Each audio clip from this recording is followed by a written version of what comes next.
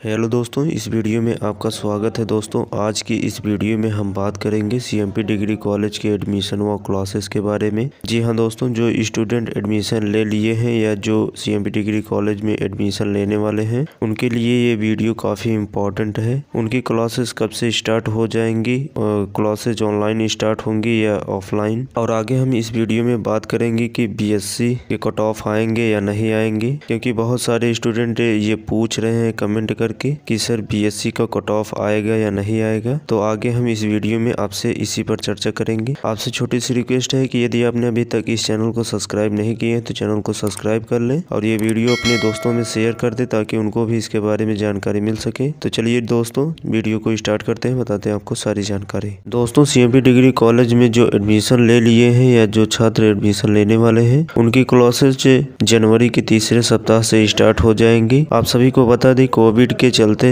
Omicron के बढ़ते मामलों को देखते हुए सभी अफिलिएटेड कॉलेज व यहाँ तक कि इलाहाबाद विश्वविद्यालय की ऑनलाइन क्लासेज में ही पढ़ाई होगी। ऑफलाइन क्लासेज कराना मुश्किल है। जैसा कि आप सभी जानते हैं कि अब ओमिक्रॉन के केसेस बढ़ने शुरू हो गए हैं। ओमिक्रॉन के केस फरवरी में ज़्यादा केस देखने को मिलेंगे। इसलिए सभी कॉलेजों की तरफ़ से कोविड गाइडलाइन व नोटिफिकेशन जारी कर दिया गया है। लेकिन आप सभी को बता दें कि एडमिशन में किसी प्रकार की आपको दिक्कत दिक्कत नहीं होगी। एडमिशन जैसे चल रहा है, वैसे ही चलेगा और आपकी क्लासेज ऑनलाइन ही स्टार्ट होंगी। अब आगे हम इस वीडियो में बात करते हैं कि क्या बीएससी का cut off CMP degree college की तरफ़ से रिलीज़ किया जाएगा। तो इसका आंसर हम आप लोगों को दे देते हैं। सीएमपी डिग्री कॉलेज का बी का कट ऑफ़ अभी तक आएगा। अभी कुछ सीटें बची हुई है। हो सकता है आज शाम तक इसका कट ऑफ़ रिलीज़ कर दिया जाए। फ़िलहाल जैसे ही बीएससी का कट ऑफ़ आता है, आपको इन्फॉर्मेशन मिल जाएगा। हमारे इस चैनल से जुड़े रहे। इस वीडियो को दोस्तों में शेयर ज़रूर कर दे ताकि उनको भी इसके बारे में जानकारी मिल सके। चलिए दोस्तों, मिलते हैं अगली वीडियो में। अगली जानकारी के साथ जय हिंद।